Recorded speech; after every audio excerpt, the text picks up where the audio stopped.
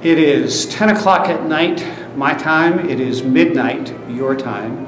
My day started with a pastoral call at 6 o'clock this morning, and I and our deputation have been on the go ever since. Like yesterday, it's been a day full of contrasts. Um, there's a lot of controversy that is being stirred up over structure.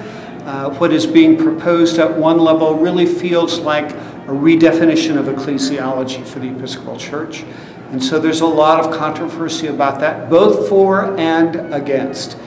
There's also some wonderful stuff that's come out of evangelism in terms of new initiatives and mission and internet evangelism that I'm personally really, really excited about. The worship that we had this morning, from the Book of Common Prayer right to confession, absolution, everything was a sheer joy to be a part of. As one of our deputations said, it is so powerful to be in a room with that many people and hear us all say together the creed, we believe. And it certainly was a grounding and wondrous moment. In the midst of all of that, we're still continuing to hear, have hearings around the questions of marriage and marriage canon changes proposed and changes in the prayer book. At this point, they're just hearings, no proposals have reached us.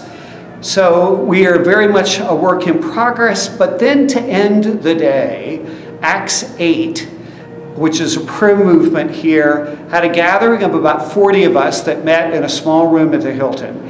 And I was easily the oldest guy in the room, and most of the people there were under the age of 35 uh, enthusiastic in their prayers and in their personal sharing. It was like a little drop of cool water in the midst of the heat of today.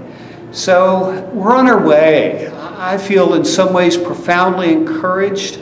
I think the future is in fact uncertain, but I think we can trust the fact that we, in our efforts to be obedient to God, will be a part of the future that God intends for us, and I have to be content to be okay with that, as it were, and to know that I'm trusting God. I hope you will join me in that trust and continue to keep all of us in your prayers. Thank you.